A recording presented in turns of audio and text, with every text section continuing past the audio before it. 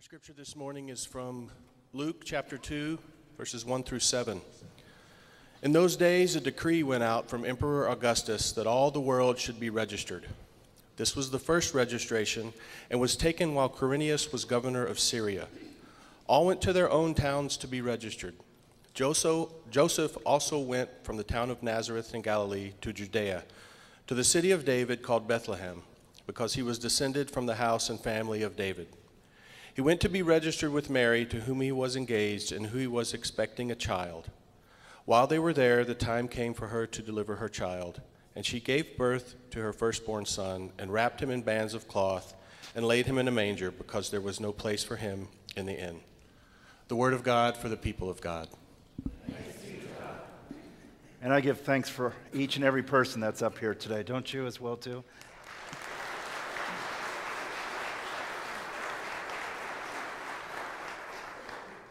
A, cantata is a, a, way to just worship God. It's a way to tell a story as well, too, through song, through instrumentation, through just singing out, and through narration. As we hear these words, words we've been familiar with, most of us, our entire lives, the story of Jesus. It's a story we've known, it's a story we've told. But sometimes when we hear it in a different way presented to us, it's a story that can move us maybe in a way we never imagined before. So I pray, and I continue to pray, that you are moved by today's cantata as well. Um, but when I think of this music, it just has moved me so much, and sometimes it makes me speechless. And I know a pastor speechless is amazing.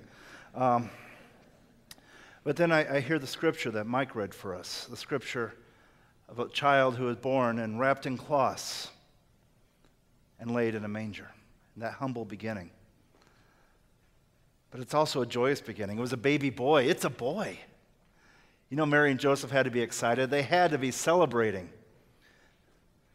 But this wasn't just any baby boy, it's a baby boy who would change the entire world, the Son of God. Imagine that for a second. Imagine what it'd be like to give birth, number one. Think of your own child, but imagine giving birth to the Son of God. Couldn't even imagine. Out in the fields, the angels proclaimed out to the shepherds, and the shepherds come running into town. The shepherds wanted to know him. A star appeared in the sky, and the wise men, the magi, the kings, whatever tradition you grew up with, they saw it. They followed the star because they wanted to know Jesus as well.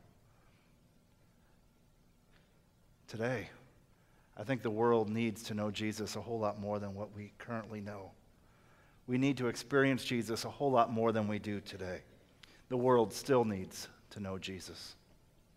You know, over the past few weeks during this uh, season of Advent, we've had a sermon series where we spent time looking at the, the whole birth narrative as a love story, of God's love story towards us. And, and, we looked at God courting us at first, God reaching out to each and every one of us, even before we know God exists, even before we realize there is a God, God has been reaching out to us. And then, just like in a relationship, we realize God's there, been reaching his hand out to us, and we grab that hand. And we say, Yes, like we would to a wedding proposal. Yes, I'll marry you. Yes, I'll walk with you. And at that point, God forgives us, God loves us more and more.